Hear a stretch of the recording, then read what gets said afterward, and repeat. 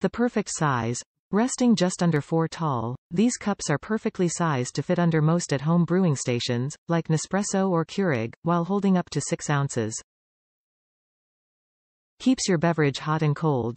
Features double wall insulation to keep your drinks hot or cold longer than traditional glassware. The unique design will make your drink look like it is floating suspended in air. Ready to gift. Makes a wonderful choice for the coffee, espresso or tea lover in your life and comes in luxury gift packaging. Sustainable and reusable.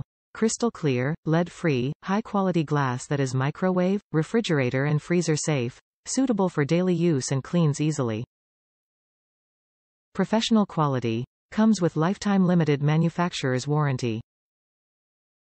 Top reviews from the United States. For coffee makers with traditional double outflows, this is the one. I love double wall glassware. In coffee cups it permits handle-free cups, because you never feel the heat outside. In drinkware, for cold drinks like Scotch Bubbly, it totally eliminated the sweating and hence the need for a napkin wrap, a coaster, etc. What I liked about these cups in particular is the size. I want an espresso cup, i.e. 90 to 100 milliliters of useful capacity. My Rancilio Silvia coffee maker is 1.9 centimeters between the outflow canals, as you see in the photos I have attached.